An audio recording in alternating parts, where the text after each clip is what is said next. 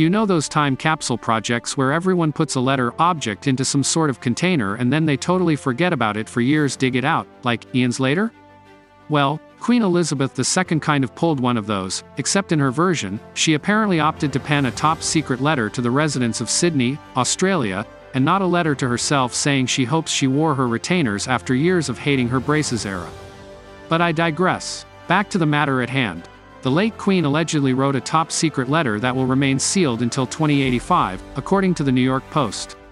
The monarch, who died last Thursday at the age of 96, wrote the letter back in 1986 to celebrate that year's restoration of Sydney's Queen Victoria Building, a monument that was originally built in 1898 and honors the Diamond Jubilee of Elizabeth's great grandmother Queen Victoria. Although what exactly is in the letter isn't known yet, it wouldn't be far fetched to think that it thanks the city's residents for saving the building after it was almost demolished in favor of a parking lot.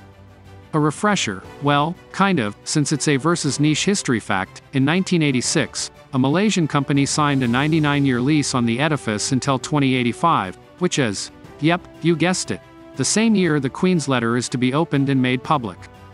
Maybe in the letter, she'll ask for the lease to be continued so the building stays safe?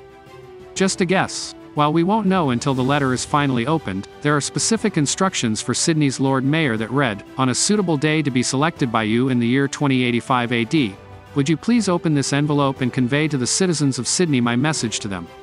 According to 7 News Australia, not even the Queen's personal staff knows what the contents of the letter conceal, since the note is hidden inside a glass case in a restricted area located at the top of the Queen Victoria Building, MMK, love the dramatic national treasure vibe here.